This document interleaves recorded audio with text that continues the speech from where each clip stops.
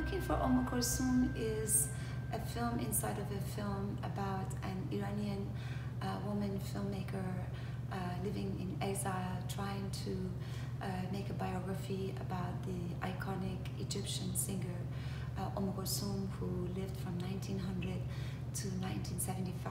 It's really about her challenges and struggles to tell her story and how she finds in the story of and the art of Umm Kulthum some of her own personal um, challenges as an artist, as a woman artist from the Middle East. Um, it's always been a very curious subject for me how women artists as opposed to men uh, have to make very difficult choices um, as if we choose to be um, having a nuclear family, to become mothers, uh, we have a certain responsibility that is in immediate conflict with uh, pursuing your career, uh, whether it's art or anything else. So it's always been, um, you know, a question for me how a woman artist can balance uh, a traditional life and, and, simply being a mother uh, with uh, really devoting themselves 100% um, to their children. And I myself raised my son as a single mother and I've had um, to experience um, the difficulties of balancing uh, being a good mother and being a good artist. Uh, and so I tried, although the film is not autobiographical, uh, I tried to really bring into the film my experiences and, and really uh, speak about um, the, the prices uh, that women have to pay uh, in once they decide to devote themselves to their passion.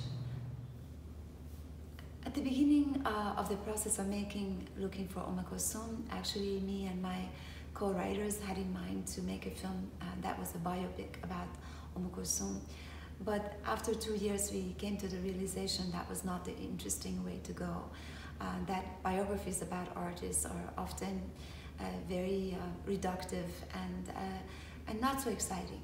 Um, but also not being Egyptian and not being Arabic, uh, we felt that we could easily fall into um, problems with uh, the issues of authenticity and criti- criticism that come, can come our way from the Arabic uh, people and Arabic speaking.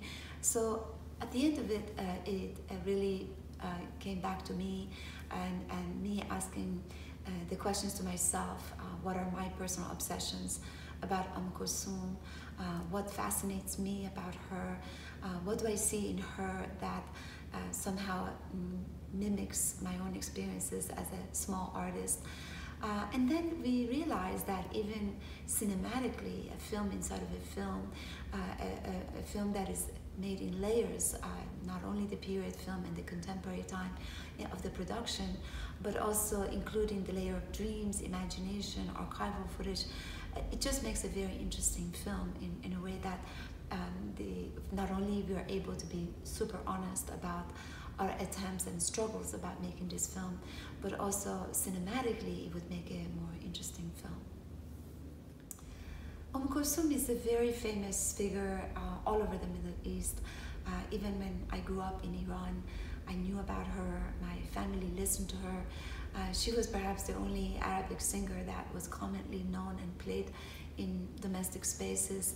Um, and so I knew about her, but of course, being a classic musician, as a young person, I was not so interested. Um, but a few years ago, um, you know, as I was investigating new stories and new topics for a next film that I wanted to make, a, very good friend brought up the issue about Umm Kulthum uh, and, and how, for example, my latest or last works, uh, a film or even photography, have been continuously about women.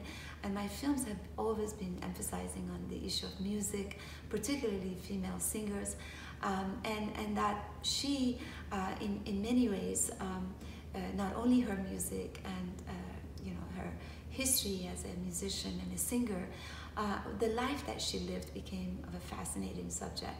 So, um, you know, putting it all together and, uh, and also the fact that the Western culture, it's so unfamiliar to her. And this was uh, partially a way to paying tribute to her.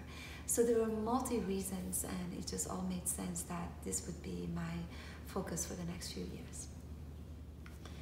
I always compared uh, making uh, photography or short videos as making poems, and filmmaking is about storytelling.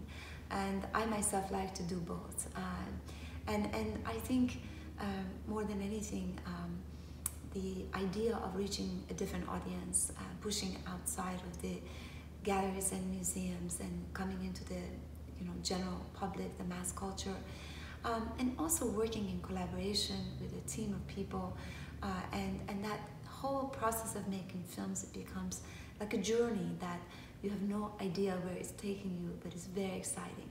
Uh, and this is very different than working in a studio space where you're by yourself against the wall making a painting or a photograph.